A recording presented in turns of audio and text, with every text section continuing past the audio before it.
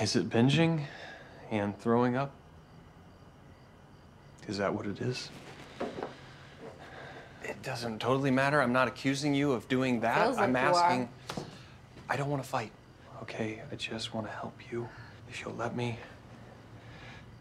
Maybe help you find a group. I read that groups. A group. A group.